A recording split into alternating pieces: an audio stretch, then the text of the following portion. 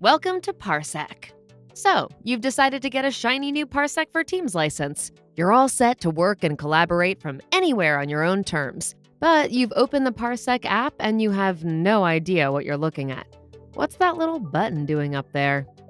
Well, look no further. In this video, we're going to go over everything you need to know about using the Parsec app and some of Parsec's coolest features. We cover the admin panel in a separate video, so if you need to learn about managing your Parsec for Teams account, check out the link in the description. First things first, open the Parsec app and log into your account. Once logged in, you'll find yourself presented with the Computers screen. This screen is the main hub for connecting to all of your available computers, including those you've logged into or that your team's made available. If you're logged into your computer at the office and opening Parsec at home, you'll see your office computer listed here, along with any others also signed in or assigned to you. Let's log in to our PC in the office by clicking Connect. Notice how we've landed on the login screen.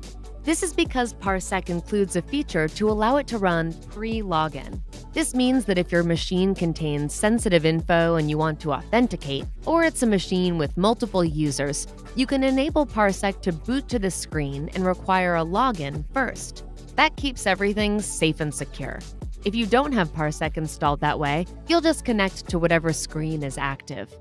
Now you're logged in. The first thing you'll probably notice is the Parsec Overlay button. This little guy gives you power over the majority of Parsec's settings and features. Let's take a look at some of the controls we have. Perhaps this amount of control is too much power for you, and you'd rather just focus on your work. As you may have guessed, the Hide button option removes this Parsec overlay button and any temptation it may bring so that you can focus on the task at hand. If you're in a shared session, you may want to chat and give feedback with other users who are also connected to the computer. You can bring up the chat window using the chat option here, or at any time pressing Ctrl Shift C on your keyboard, Command Shift C on Mac.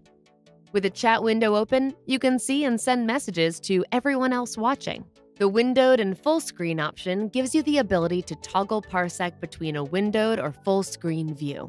Full screen's a more immersive experience that really makes it feel like you're sitting in front of the host computer, while windowed will simply put the stream aside other active windows on your computer.